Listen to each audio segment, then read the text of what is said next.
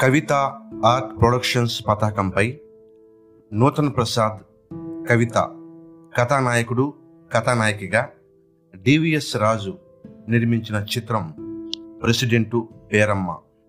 కళా తపస్వి కె విశ్వనాథ్ దర్శకత్వం వహించిన ఈ చిత్రం పంతొమ్మిది వందల డెబ్బై తొమ్మిదో సంవత్సరం ఏప్రిల్ నెల పన్నెండవ తేదీన విడుదలై మంచి విజయాన్ని సాధించింది. ఈ చిత్రంలో గోకిన రామారావు సాక్షి రంగారావు కేవి చలం రమణమూర్తి రమప్రభ ఇతర కీలక పాత్రలలో నటించారు. కథ మాటలు దాసం గోపాలకృష్ణ అందించిన ఈ చిత్రానికి చక్రవర్తి సంగీత సారథ్యం వహించారు. ఈ చిత్రంలో అన్ని పాటలు బాగున్నప్పటికీ అందరాని చందమామ నాకెందుకు పాట మాత్రం ఎవర్ గ్రీన్ హిట్గా నిలిచిపోయింది. ఇక ఈ చిత్ర కథ విషయానికి వస్తే ఒక ఊరు ఆ ఊరికో ప్రెసిడెంట్. ప్రెసిడెంట్ రాయుడు ఆడింది ఆట పాడింది పాట.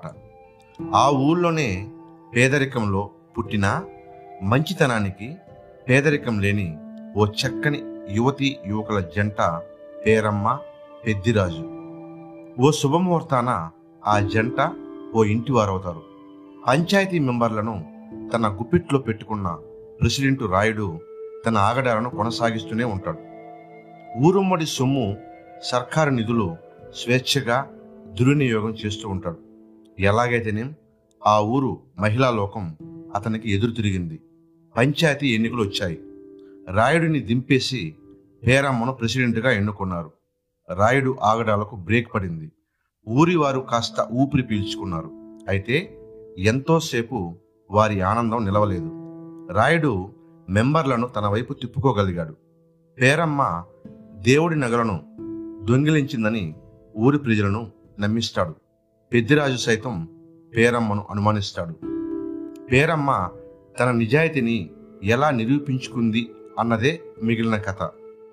పంతొమ్మిది వందల డెబ్బై మూడవ సంవత్సరం అక్కినేని నాగేశ్వరరావు నటించిన అందాల రాముడు చిత్రంతో సినీ రంగ ప్రవేశం చేసిన నూతన ప్రసాద్ ప్రెసిడెంట్ పేరమ్మ చిత్రానికి ముందు ముత్యాల ముగ్గు చలిచీమలు ప్రాణం ఖరీదు లాంటి చిత్రాలలో విలక్షణమైన పాత్రలు పోషించారు.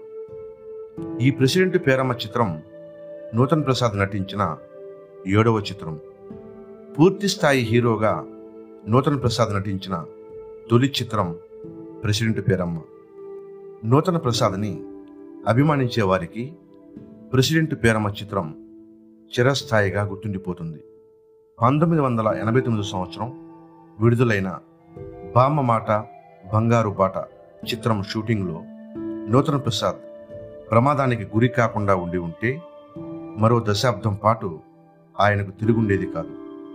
ఏది ఏమైనా విలక్షణ నటుడు నూటొక్క జిల్లాల అందగాడు అని అభిమానులు ఇష్టంగా పిలుచుకునే నూతన ప్రసాద్ సినీ జీవితంలో ప్రెసిడెంట్ పేరమ్మ చిత్రం ఒక మరిచిపోలేని చిత్రంగా నిలిచిపోయింది.